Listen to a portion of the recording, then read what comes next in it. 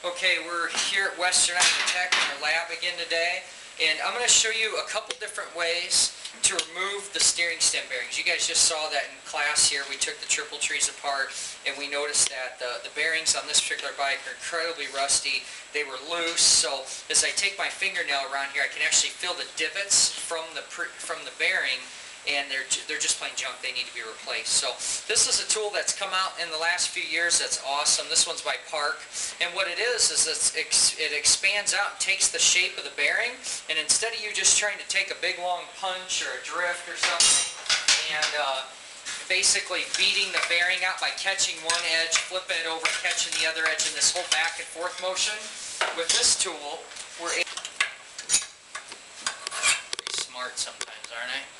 Jeez. Sometimes. Sometimes. Now, what I'm going to try to do is just get the snap. Did you hear it snap? Yes. I've never, I was visualizing, could I put a hose clamp around there? Could I get that to the right shape? And then once I pop through or whatnot, but this worked pretty slick going this way. So now let's see how this works. And, uh, you know, a lot of times if somebody comes out with some genius tool like this, what do you want to bet that uh, either Park's website or maybe K&L or somebody might even already have a video on this? Um, a little bit easier. Um, I'm going to go ahead and just pull it on out and uh, see what that looks like. But you guys should be able to pass this around. Before we even clean it or anything, you're actually going to be able to see the old indents of where the bearing was and this one's just bad. So we have some different tools for installation. That'll be a different video.